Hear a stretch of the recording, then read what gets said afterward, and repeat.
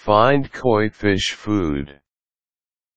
Koi fish are becoming very popular in the United States, so people are having custom-made koi fish ponds built in their backyards.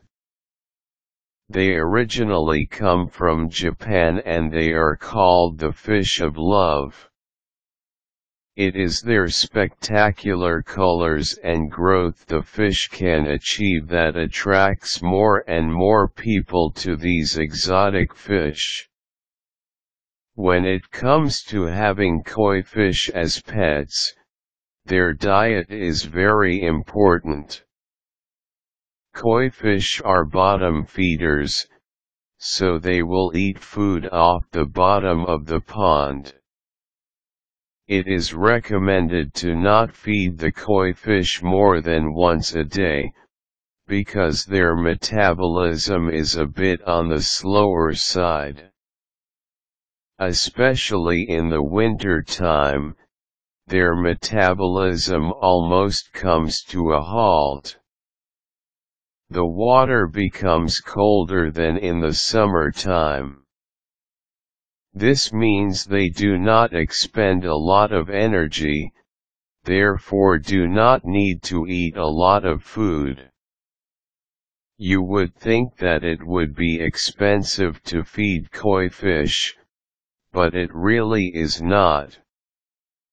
All koi fish are omnivorous, so they will eat both plants and animals.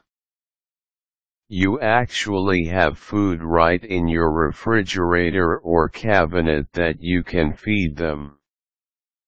I bet you did not even know that.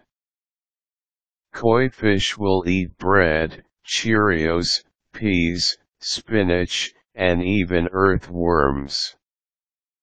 If you want to give your koi fish a special treat, give them some watermelon.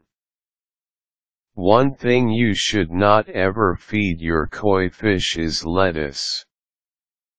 Lettuce has no nutritional value and is made up of mostly water, so the koi fish will gain nothing from it. If you do not have these foods, then make sure you buy some high quality protein sticks that will sink to the bottom of the pond.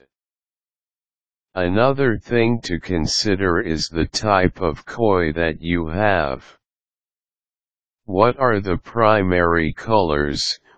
What is the average growth rate and size that your koi fish is capable of reaching? When you consider all these factors, this will also determine how much those particular koi fish will eat. After some time, when the fish have become familiar with you, some have even been known to eat out of their owner's hand. How cool would that be? Overall, you need to know exactly what kind of koi fish you have and its characteristics.